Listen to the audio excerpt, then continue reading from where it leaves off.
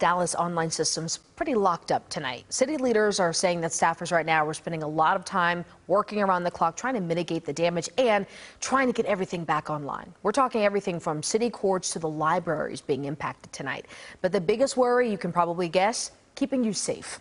Our Robbie Owens is at Dallas City Hall with what officials are telling us tonight.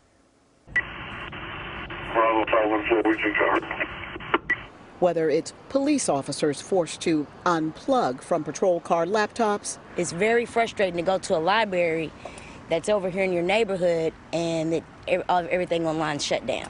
Or no online access at Dallas's libraries. Everything from police reports to the city's courts held hostage for a second day due to a cyber attack.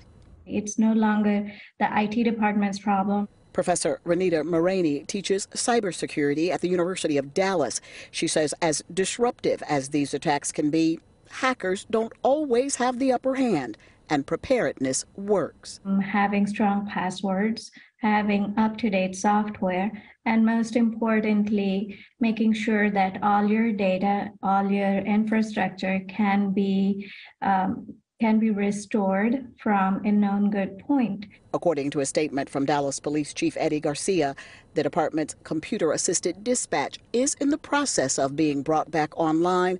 However, his statement acknowledged the challenges, saying, quote, while police response and police services continue as usual, Dallas police operations have been significantly impacted by the outage.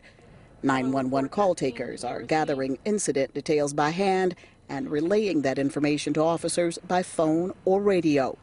Meanwhile, Professor Murimi says everyone has a stake in keeping online systems safe at work and home. We should be talking about this uh, with our family, with our children, because as our children also have devices that connect to the internet and they're clicking on links and downloading apps.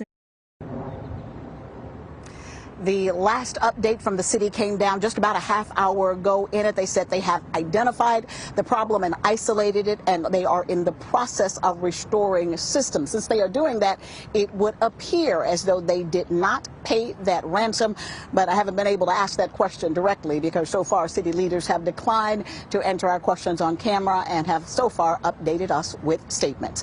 Live at Dallas City Hall, Robbie Owens, CBS News, Texas. We know you'll stay on it, Robbie, but at least a bit of good news there. Thank you so much. Another report.